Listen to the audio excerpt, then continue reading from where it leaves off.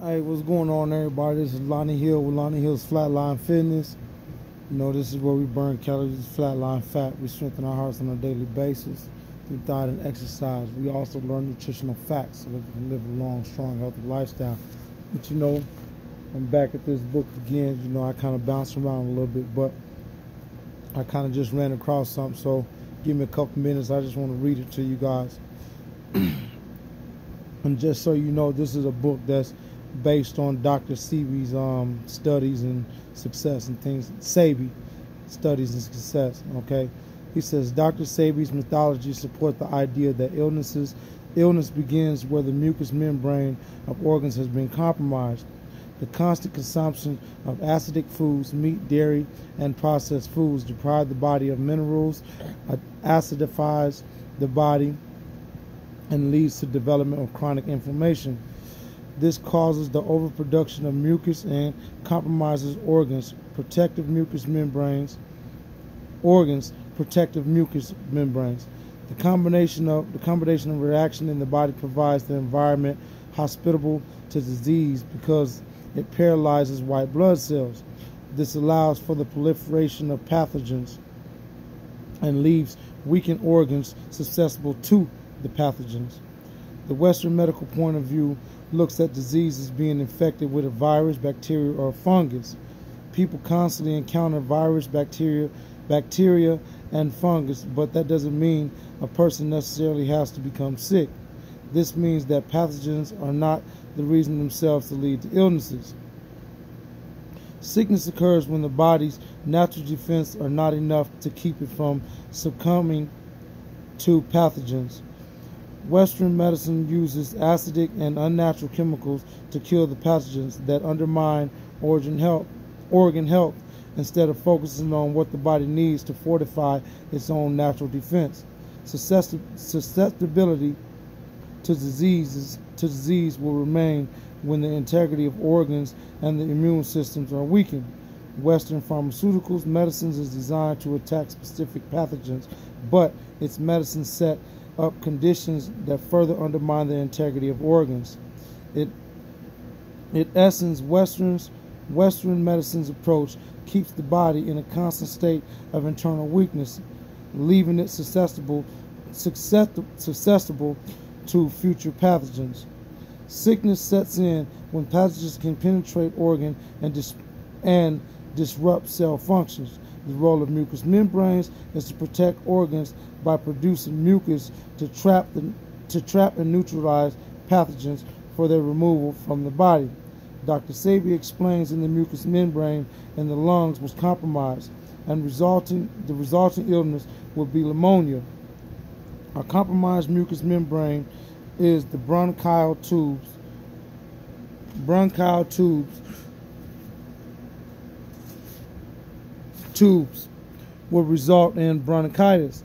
In the pancreas, the result will be would be diabetes. In the joints, the result will be arthritis. The consumption of meat, dairy, and processed food acidifies the body, causing chronic inflammation, compromises the mucous membrane, and results in susceptibility to disease and deterioration of organ function. The body's response to heavy milk consumption and its toxins with increased mucus production and inflammatory process to combat the threat. Casein, a protein in milk, has been, linked, has been linked to an increased risk of developing cancer. Casein consumption has also been implicated in the overproduction of mucus in the gut and the respiratory glands. Continuous consumptions of meat and processed food also compromise the mucous membrane because of the chronic acidic environment that they develop. An acidic environment in the blood supports proliferation of disease by shutting down white blood cells. Dr. Marcial Vega, a, renowned, a renowned on, oncologist trained at Johns Hopkins University, gave a perfect example of this. Through his studies, he realized that acidic environments wrecked, wrecked, wreaked havoc on the immune system and aided in proliferation of diseases. Dr. Marcial Vega examined the blood of his cancer patients and found red blood cells lost hemoglobin because of anemic and clumped together to protect themselves against the acidic environment. This interfered with proper oxygenation of red blood cells and delivery of oxygen to organs to support cell functions. The acidic environment also paralyzed white blood cells, which allow for uric acid and cholesterol and other toxins, toxins and pathogens to build up. Dr. Marcial Vega raised his patients' blood pH levels to 7.4 simply by having them drink goji berry juice. He used goji berry juice at the time because he found it was the quickest natural way to turn acidic environment of his patients' bodies into slightly alkaline environment. The change helped to protect and strengthen their immune system.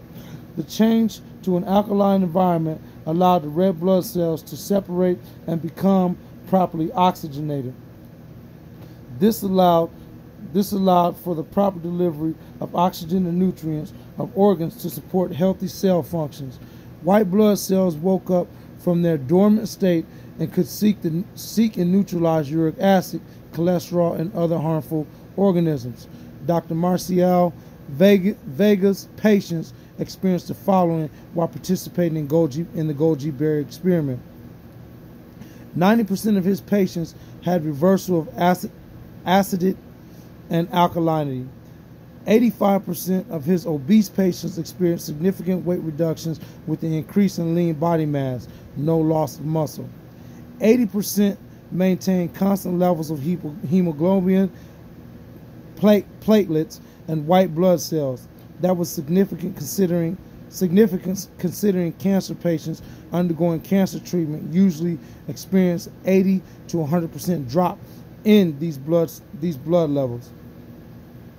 80% of his patients with blood pressure with high blood pressure experienced a drop in their blood pressure.